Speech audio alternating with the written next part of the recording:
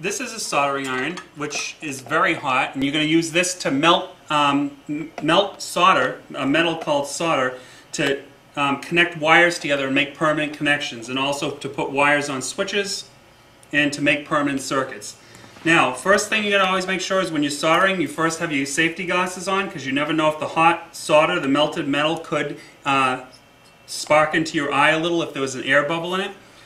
You'll notice the soldering area is in my hot area, which is marked off in yellow, so I know it's very hot. And whenever you see a soldering iron, even if you don't see it plugged in, always assume it's hot. You never touch the metal or touch the metal end. You always have to hold it by the middle of the handle up here because it's very hot, and this whole metal gets to be like 500 degrees Fahrenheit or something to that effect. Um, and always keep the air, the soldering iron in the hot area.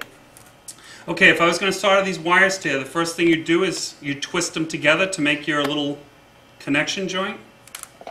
And then also make sure you're soldering on something that you won't burn, like a kitchen table. Make sure it's like cardboard, heavy cardboard, or a piece of scrap wood. And this is how you solder. First thing you do is take your iron and you want to hold, and you have to have the iron plugged in for about five minutes to heat up. And you want to hold it right on the joint, the so joint to be soldered, and hold it there until it gets hot and heated up. And it might take a few seconds while the whole wire, the wires are getting very hot. And then you poke the solder on here, and it will melt.